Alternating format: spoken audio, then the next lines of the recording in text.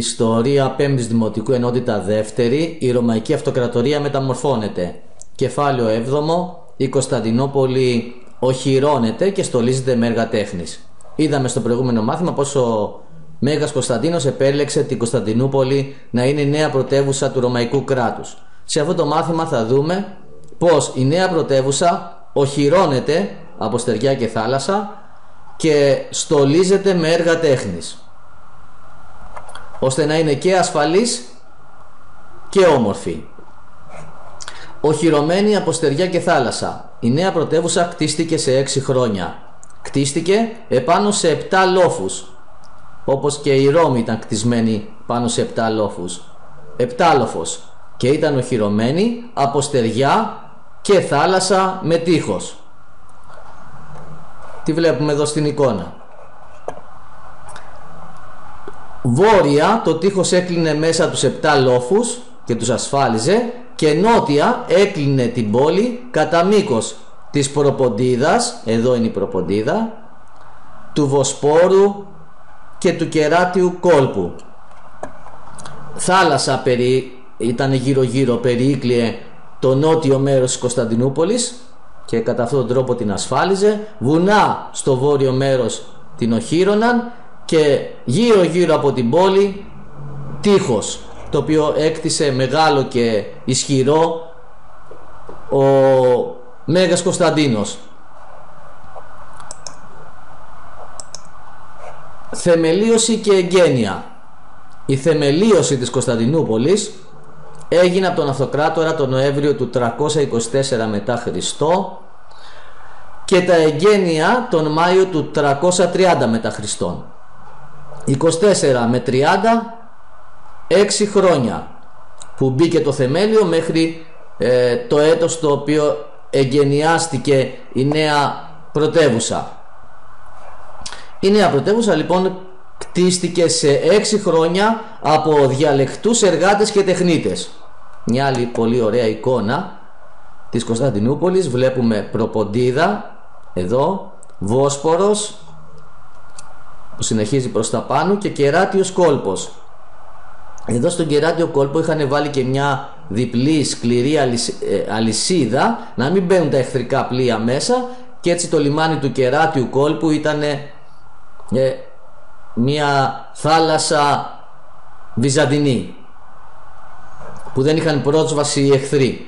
Το τείχος το βλέπουμε γύρω γύρω από την πόλη και πίσω περικλεί τους 7 λόφους πάλι ισχυρό τείχος. Τα θεμέλια λοιπόν το 324 και το 330 έγινε, ε, έγιναν τα εγγένεια σε 6 χρόνια της νέας πόλης. Παλαιά και νέα τείχη. Ο Κωνσταντίνος επισκέβασε την Ακρόπολη, το υψηλότερο σημείο της πόλης, τα παλιά τείχη και έκτισε νέα τείχη να προστατεύουν τις νεοκτισμένες περιοχές. Προσθέθηκαν περιοχές και αυτές οι νέες περιοχές κλείστηκαν με νέα τείχη.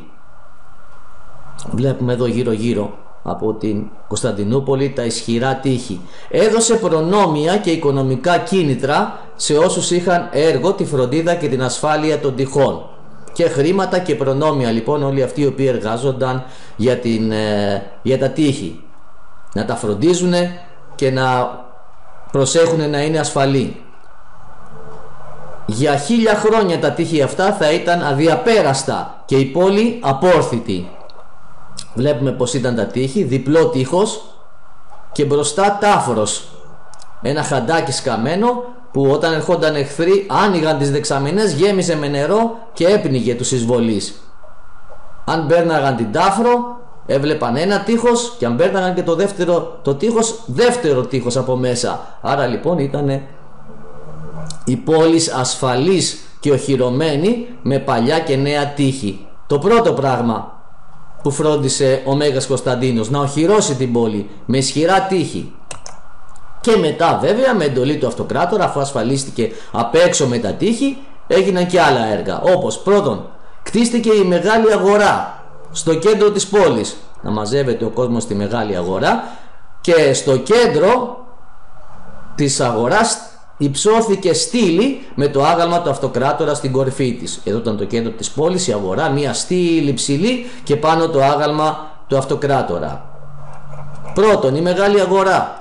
Δεύτερον, στολίστηκε με έργα τέχνης που μεταφέρθηκαν από τη Ρώμη και άλλες περιοχές της αυτοκρατορίας για να στολίσουν πλατείες, αγορά και άλλους δημόσιους χώρους. Πήραν από τη Ρώμη ε, έργα τέχνης από άλλες μακρινές περιοχές της αυτοκρατορίας ό,τι ωραίο ήταν το μετέφεραν και στόλισαν πλατείες αγορά και δημόσιους χώρους με έργα τέχνης. Επίσης τρίτον με εντολή του αυτοκρατόρα διατηρήθηκαν οι βομοί της παλιάς θρησκείας κτίστηκαν όμως νέοι χριστιανικοί ναοί όπως ο ναός της Αγίας Σοφίας ο ναός της Αγίας Ειρήνης ο ναός των Αγίων Αποστόλων στον οποίο τάφηκε και ο ίδιος αυτοκράτορας το 337 μετά Χριστού. Γέμισε λοιπόν ναούς και εκκλησίες αφού έπαιρνε η αυτοκρατορία χριστιανικό χαρακτήρα και από τα μεγάλα αυτά έργα όσα δεν πρόλαβε να τελειώσει ο ίδιος ο αυτοκράτορας το ολοκλήρωσε ο γιος του Κωνσταντιος. Εδώ στην εικόνα βλέπουμε τον ναό των Αγίων Αποστόλων στον οποίο τάφηκε και ο ίδιος. Η Αγία Σοφίας, πολύ μεγάλος ναός των Αγίων Αποστόλων της Αγίας Ειρήνης. Επίσης με εντολή του αυτοκράτορα κατασκευάστηκαν κρίνες βλέπουμε εδώ την εικόνα, βρύσες δηλαδή λουτρά, υδραγωγία τεχνητά κανάλια που μετέφεραν το νερό όπως βλέπουμε εδώ από μια περιοχή στην άλλη και τεράστιες δεξαμενές που εξασφάλιζαν νερό για έξι μήνες. Πολλές δεξαμενές, πολλές υπόγειες δεξαμενές όπως αυτήν εδώ που βλέπουμε που εξασφάλιζαν να έχει πόλη νερό για έξι μήνες έτσι ώστε να είναι ασφαλής ακόμα και σε περίοδο πολιορκίας. Κρίνες, λουτρά, υδραγωγία, δεξαμενές όλα αυτά διακόσμησαν και ασφάλισαν τη νέα πρωτεύουσα που την έκαναν αντάξια της Ρώμης. Αντάξια λοιπόν της Ρώμης έγινε η Κωνσταντινούπολη, βλέπουμε εδώ πόσο όμορφη είναι, ασφαλής με το ισχυρό τείχος γύρω γύρω και γεμάτη από έργα τέχνης, υδραγωγία, λουτρά, κρίνες, η κεντρική πλατεία με το άγαλμα του αυτοκράτορα, ο υπόδρομος και τόσα άλλα που θα τα γνωρίσουμε καλύτερα στα επόμενα μαθήματα. Αυτά θα δούμε στο σημερινό μάθημα. Διαβάζουμε. Η Κωνσταντινούπολη οχυρώνεται και στολίζεται με έργα τέχνης. Η νέα πρωτεύουσα κτίστηκε σε έξι χρόνια. Οχυρώνεται από στεριά και θάλασσα και στολίζεται με κτίσματα και έργα τέχνης. Ο Κωνσταντίνος φιλοδοξεί να γίνει εισάξια και καλύτερη από τη Ρώμη. Έξι χρόνια λοιπόν χρειάστηκαν για να κτιστεί η νέα πρωτεύουσα. Οχυρώθηκε και στολίστηκε με στόχο να γίνει εισάξια αλλά και αν είναι δυνατόν καλύτερη από τη Ρώμη ως νέα πρωτεύουσα. Χρονογραμμή 313 μετά Χριστόν θυμόμαστε το διάταγμα των Μεδιολάνων της Ανεξιθρησκείας και μερικά χρόνια μετά το 330 κάνει μια καινούργια αρχή με τη μεταφορά της, Κωνσταντινούπο, της πρωτεύουσας στην Κωνσταντινούπολη ο Μέγας Κωνσταντίνος ε, το 330 όπου γίνονται τα εγγένεια της πόλης. Διαλεγμένοι εργάτες και τεχνίτες από όλα τα μέρη της αυτοκρατορίας εργάστηκαν επί έξι χρόνια ασταμάτητα να οχυρώσουν τη νέα πρωτεύουσα και να τη στολίσουν με ωραία κτίσματα και έργα τέχνης. Η θεμελίωσή της έγινε από τον αυτοκράτορα τον Νοέμβριο του 324 μετά Χριστό και τα εγγένειά της τον Μάιο του 330 μετά Χριστό. Νοέμβριο ε, 324 τον, ε, το φθινόπωρο ξεκίνησε, την άνοιξη τελείωσε 324 με 330 είναι 6 χρόνια. Ο Κωνσταντίνος επισκέβασε την Ακρόπολη και τα παλιά τείχη και έκτισε νέα για να προστατέψει τις νεοκτισμένες περιοχές. Έδωσε μάλιστα τίτλους, προνόμια και οικονομικά κίνητρα σε όσους είχαν έργο τη φροντίδα και την ασφάλεια των τυχών της πόλης. Επισκέβασε την Ακρόπολη, το ψηλό σημείο της πόλης. Ε, ε, επισκέβασε τα παλιά τείχη αλλά δεν έφταναν τα παλιά τείχη και έκτισε και νέα τείχη για να προστατέψει τις καινούργιες περιοχές, τις νεόκτητες περιοχές γιατί μεγάλωσε η πόλη. Και μάλιστα αυτοί οι οποίοι φρόντιζαν για τα τείχη ε, σε αυτούς δόθηκαν τίτλοι, προνόμια και οικονομικά κίνητρα. Έδωσε μεγάλη σημασία λοιπόν στα τείχη, συνοχήρωση της πόλης με τείχη ε, παλαιά και νέα τείχη λοιπόν και φρόντισε πάρα πολύ να στηρίξει αυτούς οι οποίοι είχαν ως έργο τους την ε, ασφάλεια των τυχών. Επίσης κτίστηκε η μεγάλη αγορά στο κέντρο της πόλης. Στο κέντρο της πόλης έπρεπε να υπάρχει μια αγορά. Μεγάλη αγορά, να συγκεντρώνεται ο κόσμος. Και στον χώρο της αγοράς υψώθηκε στήλη με το άγαλμα του αυτοκράτορα στην κορφή.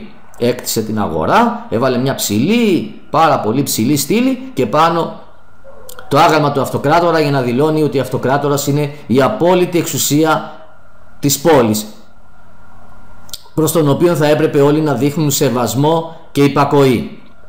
Τύχη η αγορά με τη στήλη του αυτοκράτορα και συνεχίζει αφού την ασφάλισε με ισχυρά τύχη ε, να στολίζει την πόλη.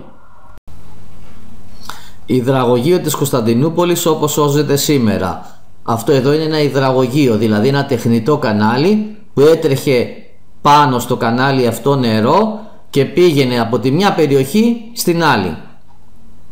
Θα δούμε παρακάτω ότι έκτισε και υδραγωγεία ε, και άλλα σπουδαία έργα τέχνης. Έργα μάλλον.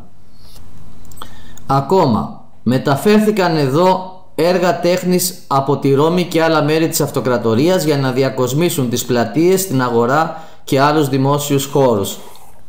Ό,τι σπουδαίο έργο τέχνης υπήρχε στην παλιά πρωτεύουσα τη Ρώμη σε άλλα μέρη της αυτοκρατορίας τα μετέφεραν στην Κωνσταντινούπολη για να στολίσουν πλατείες, αγορά και δημόσιους χώρους. Διατηρήθηκαν βομοί και ναοί της παλιάς θρησκείας κτίστηκαν και κτίστηκαν νέοι χριστιανικοί. Ανάμεσά τους ο ναός της Αγίας Σοφίας, της Αγίας Ειρήνης και των Αγίων Αποστόλων, στον οποίο τάφηκε και ο ίδιος το 337 μετά Χριστό. Οι παλιοί βομοί και οι παλιοί ναοί ε, της ε, ρο, παλιάς ρωμαϊκής θρησκείας διατηρήθηκαν. Αλλά όμως κτίστηκαν νέοι χριστιανικοί ναοί καθώς ε, το Βυζάντιο έπαιρνε χριστιανικό ε, πλέον χαρακτήρα μεταξύ των οποίων ο ναός Αγίας Σοφίας σπουδαίος ναός ο ναός Αγίας Ειρήνης ο ναός των Αγίων Αποστόλων.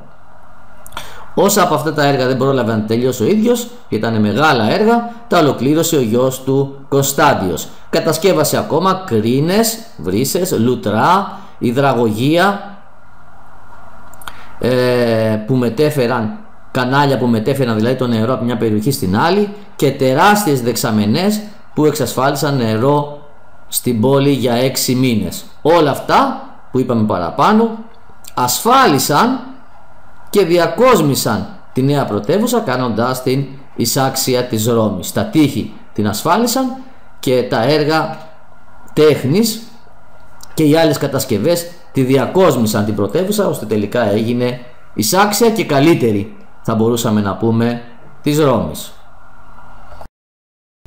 Ερωτήσεις και απαντήσεις. Σε πόσα χρόνια κτίστηκε η Κωνσταντινούπολη, πότε έγινε η θεμελίωση και πότε τα εγγένεια; Η Κωνσταντινούπολη χτίστηκε σε 6 χρόνια. Η θεμελίωση ξεκίνησε τον Νοέμβριο του 324 μετά Χριστόν, την άνοιξη, ε, το φθινόπωρο του 324 και τα εγγένεια τον Μάιο του 330 την άνοιξη του 330 24 με 30 6 χρόνια. Τι έκανε ο Κωνσταντίνος για να οχυρώσει την πόλη; Τι έκτισε; Τι προνόμια έδωσε και σε ποιους; Το πρώτο πράγμα που σκέφτηκε την οχύρωση. Ο Κωνσταντίνος επισκέβασε την Ακρόπολη και τα παλιά τείχη και έκτισε νέα τείχη για να προστατέψει τις νεοκτισμένες περιοχές. Έδωσε τίτλους, προνόμια και οικονομικά κίνητρα σε όσους φρόντιζαν την πόλη. Τι χτίστηκε στο κέντρο της πόλης και ποιανού άγαλμα υψώθηκε;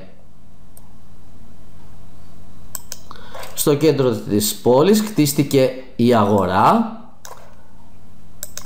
στην οποία υπήρχε μια, στο κέντρο της οποίας υπήρχε μια ψηλή πύλη, στήλη πάνω στην οποία ήταν το άγαλμα του αυτοκράτορα για να δηλώνει την απόλυτη εξουσία του αυτοκράτορα. Η αγορά λοιπόν στο κέντρο της πόλης και μια ψηλή στήλη με το άγαλμα του αυτοκράτορα. Τι μεταφέρθηκαν στην πόλη για να την ομορφύνουν; Στην πόλη μεταφέρθηκαν έργα τέχνης από τη Ρώμη και άλλες περιοχές της αυτοκρατορίας για να διακοσμήσουν τις πλατείες στην αγορά και άλλους δημόσιους χώρους. Έργα τέχνης. Ποιους βωμούς και ναούς διατήρησαν και τι νέοι ναοί χτίστηκαν; Διατηρήθηκαν οι βομοί και οι ναοί της αρχαίας ρωμαϊκής θρησκείας, χτίστηκαν όμως και πολλοί χριστιανικοί ναοί, όπως ο ναός της Αγίας Σοφίας, ο ναός της Αγίας Ειρήνης, ο ναός των Αγίων Αποστόλων, στον οποίο και τάφηκε ο αυτοκράτορας το 337 μετά Χριστού. Αυτοί οι τρεις σπουδαίοι ναοί και άλλοι πολλοί, μικρότεροι. Τι ακόμα κατασκεύασαν για να υπάρχει άφθονο νερό στην πόλη;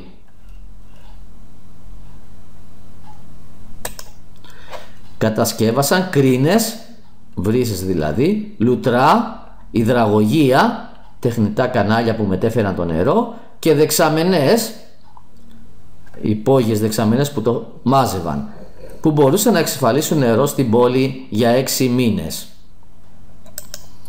Όσα έργα δεν πρόλαβε να τελειώσει ο Κωνσταντίνος, ποιος τα ολοκλήρωσε; Τα ολοκλήρωσε ο γιος του Κωνσταντιος και η Κωνσταντινούπολη έγινε με όλα αυτά αντάξια της Ρώμης και σε αυτό συμμετελείωσε και το σημερινό μάθημα. Διάβασε πολύ καλά το βιβλίο σου και καλή επιτυχία στο σχολείο σου. Γεια σου.